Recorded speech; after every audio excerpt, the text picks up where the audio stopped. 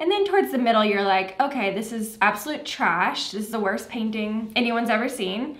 Do you know how to talk to people? Like, I have forgotten still.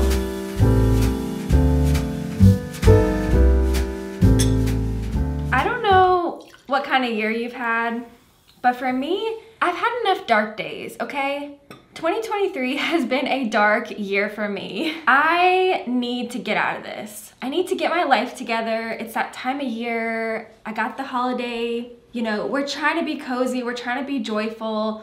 We're trying to get into our new year like mindset, new year, new me. I just feel like I've had enough dark days. I want to be an organization queen again. I want to get my life together and be the journaling, no, not the journaling, sorry, the planner, plannering person. I want to be organized and on top of things and simple, simple, simple, simple, okay? I'm tired of being overwhelmed, depressed, tired, putting things off, too busy because I'm just overwhelmed by like the amount of content that's coming into me all the time. Like I want to just like focus, you know, get organized. And I feel like organization is a mindset. I don't think you need to hear about like how I use a planner, you know? It's like, do I bullet journal? It's like, okay, cool. But I feel like organization is actually a mindset for me. It's about like, what am I taking in? What am I putting out? How am I viewing my life, my days, where I wanna go, what I wanna do? I feel like it's more about like having a vision for what you, how you wanna spend your day, to be honest. It's like, for me, I don't have like huge, huge goals. I really just wanna like make art and like be creative and be able to live in like a forward life, you know? I've been thinking a lot about this because I feel like a lot of like being organized is just like getting rid of things in your life and in your head. And a lot of it comes down to like stop comparing yourself to everyone you see online. Like the influencers that have the best desk and the best like art studio and the most like idealistic life, it makes you feel like you need a lot more to like be that to like be an artist or whatever just live your life. And like you don't need a lot of those things. And obviously we, we all want those things and that would be great. But it's just not realistic. A lot of them are getting gifted those things or they make a lot of money and things are expensive right now. Life is so expensive right now so i feel like it's about being smart and it's like getting what you need, having a cute setup, and feeling like you can be on top of things, but not feeling like you need to be this idealized, perfect, you know, Instagram person to get things done. For me, a lot of organization is also like sticking with things. I feel like it's so easy just to like want to switch styles or mediums. Like as soon as I get into oil painting, I'm like, oh, I should try acrylic, shouldn't I? Ooh, those watercolor, ooh, but those gouache paintings are so beautiful. Like it's just constant like inundation of like what you're not doing and it's hard to like stay focused and I honestly feel I just keep having this this thing come in my head of like clutter, like clutter, clutter, clutter. It's not about having like the perfect planner. It's like getting rid of all that stuff in my head, which is like impossible essentially, unless you want to not be on the internet, which I love the internet, so I'm not gonna leave the internet, you know? It's not realistic to just be like, oh, I'm gonna delete Instagram, you know? Instagram, you know? But how do we like focus and just stay organized with all of that stuff? Like coming into us all the time. How do we still like get things done and feel like we're proud of our work and we feel creative and stuff even though like there's always a million other things that we could be trying and that we're not doing? It's like so difficult. And then it's like oh now i gotta have like I gotta post on like every platform and have like the best website and like, oh, now I gotta frame my paintings too. And now I gotta have like perfect cards to go in every order. Like it's just like nonstop, you know? And I just keep coming down to like, okay, there's a lot of options out there for things that you can do. Unfortunately, you can't do them all. Maybe one day you can do them all slowly, but like right now you can't do them all. And you have to accept. I feel like accepting is a big part of like starting, you know, feeling like you can really thrive is like accepting that you cannot do it all. I'm talking to myself here because I'm just like, I want to do everything. I want to do every style of painting constantly and I just like have such a hard time with like sticking with things and seeing things through and even like finishing paintings. Like our attention spans are just so bad too. Like, and I don't know. I've had a hard year like in so many areas of my life. So then I have especially like short of attention span because of that. And yeah, but again, I think it's just like, what are a few things that we can do to kind of trick ourselves into like getting that dopamine hit in an authentic way? That's kind of what I'm thinking about right now is how can I trick myself and trick my monkey brain into thinking like, oh, you're really doing great, even though you're not doing everything out there. Like, how can I want the things that I already have? How can I have just a few materials, just a couple style elements that I pick, one medium, very simple website, all that. How can I do all that and like be happy and like actually want that and, you know, aspire to have the things that I already have? So, how can we stay organized when it's just like impossible basically and the world wants us to fail or it's like when we do make things, it just disappears into the ether? How do we stay organized and motivated and like on track? How do we do that? Um, can you, do you know? Cause like I, I need help. Here's kind of what's helped me recently. I feel like one thing is like not working on too many paintings at once. That is like such a trap because you get that momentum in the beginning and you're so excited about a new piece and it really carries you forward to like the middle of the piece. And then towards the middle, you're like, okay, this is absolute trash. This is the worst painting anyone's ever seen. And I'm gonna throw it away in the trash and never paint again. And I've just wasted $25 in materials. Great. Yeah, that's like how I feel during every painting.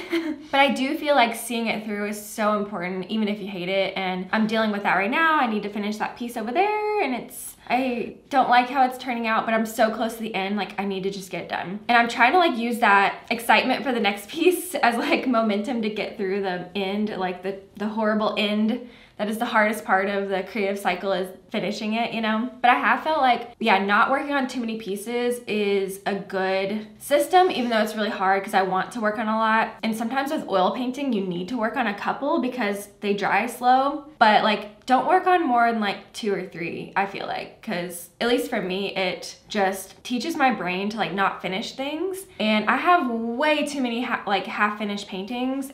It's like, it's so bad. I need to just yeah, it's depressing. like I need to finish paintings because it just it teaches my brain that I can leave things unfinished if I don't and it's not good. And it keeps me unorganized because I have so many like random paintings around here that aren't finished and I'm like, "Oh great, like now I'm physically cluttered, mentally cluttered and I feel like crap." So it doesn't help anybody. I also feel like planning your paintings out. Every time I don't plan a painting, it goes bad. Like I've never had a painting go well that I didn't plan out, literally. Like, I know some people can absolutely make like the most beautiful paintings and they're like, oh, I don't even know what the painting is until I start it, you know? Like, it just comes to me, it flows through me.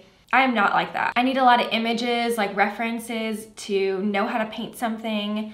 I need like proportions and to know how the colors are gonna look like. I need I need images, I need a plan. So I've just accepted that about myself. I want to be a more like go with the flow, like creative person and just let the painting come to me. It doesn't work. So I've just accepted it. I need to plan out my paintings and that's okay. That's how I'm gonna be successful and it's how I'm gonna stay organized and not waste materials and just like feel all over the place and have to repaint it and repaint it and then have horrible texture. Like if I want to just finish the painting in one, you know, one go and not have to like repaint and sand and all that, just plan it out and then you know what you're doing. So I've been doing that on Canva and I just like test all the colors and shapes and everything and I just feel like I have a plan going into my painting and it's so much more successful. It's more likely to be successful than if I just like have a kind of idea or no ideas and just wing it it's not for me. I also feel like staying organized as an artist, like not the craft part of it, but the actual like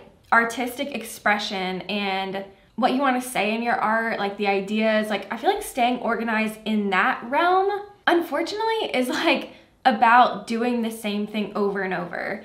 And I've I'm more and more just like trying to accept that because it's so hard for me. It's hard to do like the paint the same thing over and over.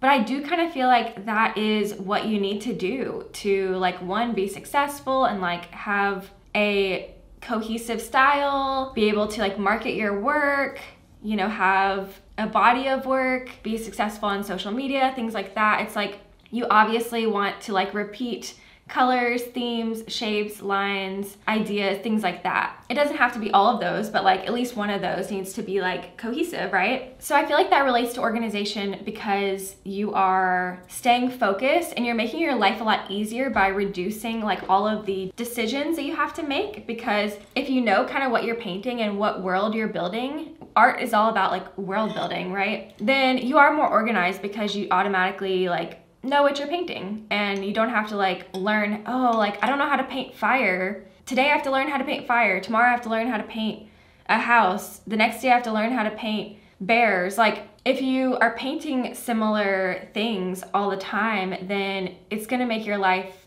easier, faster. You're going to feel more confident because you're like, "Oh, I know how to paint flowers. Like I'm the flower painter." And I think you'll feel just like you can progress more and you can jump into your work easier. So that's something I've been thinking about where although it can be a little bit creatively stifling to like paint the same thing, I think it is important if you do want to sell your work and be a professional artist, you know, find the things that you like. And one thing I do is like every new painting I start, I'm like, I need at least like one element from the last painting. If you painted grass in a certain way that you really liked, bring that into your next painting. And then the next one, you know, you bring that grass and then you bring something else. And eventually you'll have like a world that you're building and you can repeat and repeat. And obviously you will change so many things in each painting, but you'll have that like foundation of who you are and your art, what your art is, you know, and you'll just like find more creative ways to play with things inside of that world. Look, we all have seasons in our life and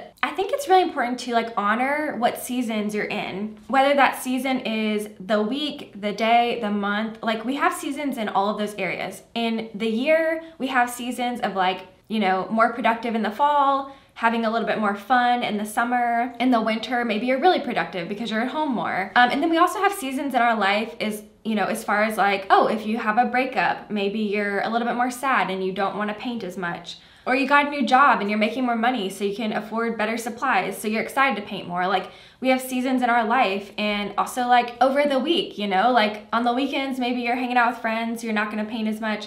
But Monday is like your time to get to work. So I think honoring those life fluctuations is helpful because you're going with things instead of fighting them. And when you're in that go period, you go, like you go. When you're feeling good, you get things done. And then when you need a little bit more rest or social time or whatever it may be, you can take that time off and not feel as bad. Like it helps your life stay more in tune with yourself. And I just think it makes for like a better experience. And I really believe in like the um, fresh start effect so the fresh start effect is like, say you clean your room really well. That's kind of like a fresh start and you're like really excited to go work in your room now. Or you get a new apron that you can paint in. That makes you excited to paint. So I really believe in those little things that kind of get us motivated and right now, my fresh start is like the new year. So really harness this time of like, oh, there's a new year. Let's get organized. Let's get our things together. Like we know everyone else is kind of doing the same thing. Like it's also winter. A lot of people are hibernating and being productive. So we can like harness that energy and like go with the season. And I really like that too because it helps us, it gives us like free momentum that we don't have to dig, you know, inside ourselves for, which is really nice. And I feel like this relates to organization because you have extra energy and a lot of organization is just about like having energy and like feeling motivated to do something. It doesn't mean that you shouldn't like work during the whole year, like you should just take the summer off or it's not like that. It's just that in those moments where you do have a little bit extra, really grab that and like use it to your advantage. And I think in general, it's just about like not over complicating it, not like over buying things, not thinking that you need all the new tools or tech or whatever. Like, you don't need perfectly new paintbrushes, you know, you don't need the perfect lighting in your studio to get started. It's like work with what you have right now, however you can, and just get started with what you can and like tune everything out. It's so hard. It's literally so hard to focus on anything these days, you know? Um, it's just really tempting to go on TikTok and veg out like all the time. We're all isolated and like weird after 2020. It's just like we don't know how to talk to people. Do you know how to talk to people? Like I have forgotten still. Like I don't know how to talk to people. So we're all in this weird place and it's just so much easier to like not follow our dreams. But I think tune it all out, simplify. Don't overbuy, like just buy a couple things that you need and like get started and just like pick like four colors that you're gonna use and just make a little painting and think about like everything you can simplify. Like if you need to write it down, it's like my style is three words. My colors are three colors. The three days that I paint a week are this. Like, you know, set it up like that if you need to. And use your materials up before you buy new ones too. I really have that problem where I'm like, oh, I need new paint. Like, it's just me procrastinating on a painting. I'm like, oh, I need to go to the art store. What can I get, you know? Don't do that. Let's go into 2024 like feeling simple, appreciating what we have, liking what is in front of us, and like being happy with the style that we've chosen, the medium, the colors. There are so many styles out there, so many ways of doing things, so many perfect setups, so many beautiful art rooms. It doesn't have to be us. What we have now is what we wanted at some point in, you know, in the past. Not always wanting more, I guess. Reminding ourselves that like everything we're seeing is fake, you know? Everything is fake online and it makes us feel like we need more and more and more and we don't. the comparison is really difficult. That's all I got for today. Uh, yeah, I'm wishing you a great day, week, all of that. Let's just uh, be kind to ourselves and, and each other and, and do what we can, you know? Okay, I'll see you later. Thanks for watching. Bye.